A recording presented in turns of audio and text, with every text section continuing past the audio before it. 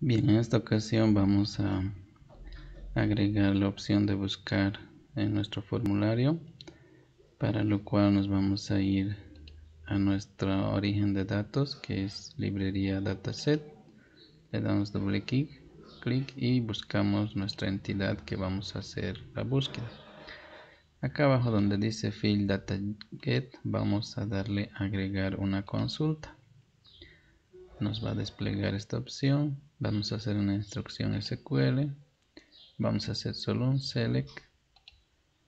Y aquí nos vamos a ir al generador de consultas en el cual donde dice filtro vamos a hacerle un clic y apretamos igual y signo de interrogación.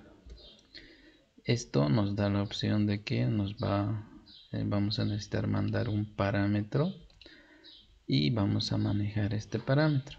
En este caso vamos a buscar solo lo que son textbox porque si no nos va a salir errores con los integer.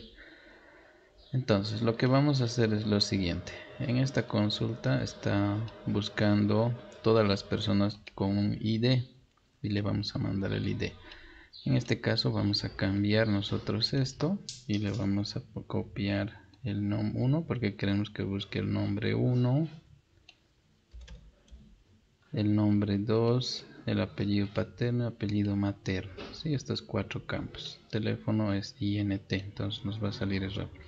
Entonces lo que vamos a hacer es aumentarle OR y vamos a copiar esto de acá y lo vamos a pegar. Y aquí vamos a poner ya num2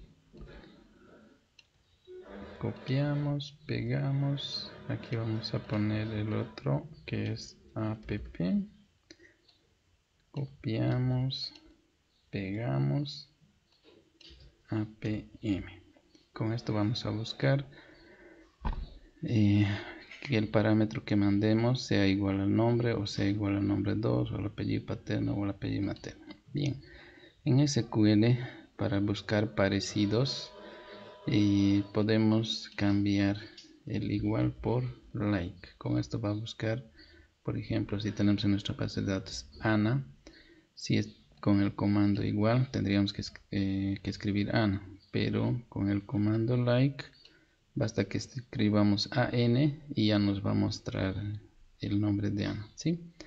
entonces para eso vamos a copiar el like lo pegamos, lo reemplazamos en vez del igual. ¿Sí? Listo, ya está. Eso sería en lo que es ah, la sentencia SQL. Le damos a aceptar. Le damos siguiente. Aquí vamos a quitar esto. Lo dejamos aquí. Y aquí en el nombre del método le vamos a poner buscar. Damos siguiente. Finalizar. Fíjense aquí nos aparece un buscar y que tenemos que enviar un parámetro. Bien, ya está todo programado ahí. Ahora nos vamos al formulario y aquí vamos a necesitar un text box en el cual vamos a poner el nombre que queremos buscar. Entonces, aquí en el text box vamos a buscar los eventos que dice text changed le damos doble clic. Y aquí vamos a programar el siguiente código. Bueno tengo aquí yo el código ya para hacerlo más rápido. Lo pegamos. Ya está. ¿Sí? entonces lo que quiere decir el table el persona table adapter ¿sí? es el adaptador de la tabla persona que hemos jalado aquí en el formulario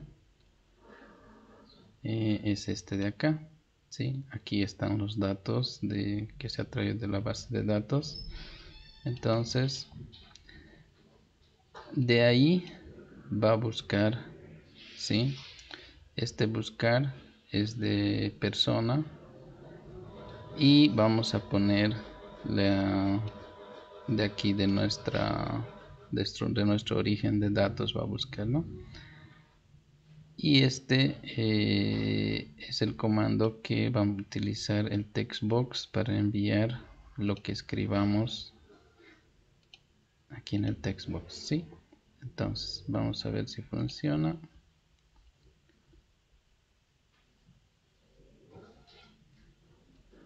esperamos que levante.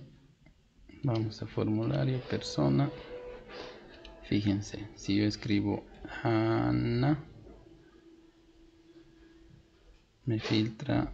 Ah porque hay Juan y Ana los dos son lo mismo. Entonces a ver who. Sí ya tengo who. Si yo escribo por ejemplo bueno si borro me vuelve a cargar todo. Si escribo nd de Fernández sí entonces ya va filtrando. Eso sería eh, para que ustedes puedan ya buscar en sus formularios